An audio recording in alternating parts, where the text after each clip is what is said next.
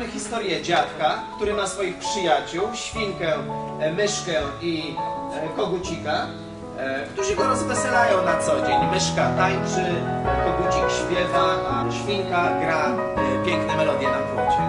I tak sobie żyją w domku pod lasem. że nie cieszmy się tak, że nie będziemy musieli nauczyć się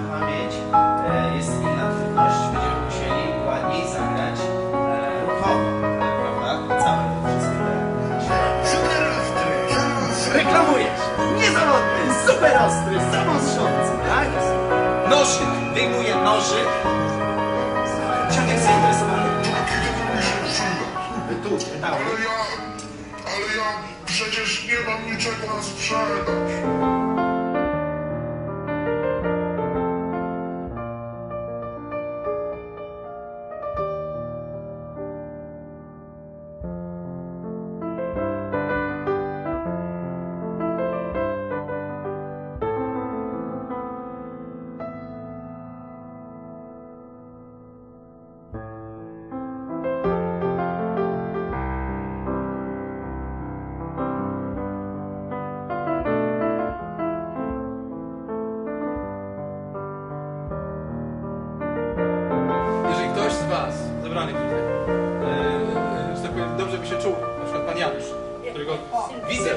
Widzę, Sylwester, e, którego widzę jako, mocno w jako tym, cyrkowiec.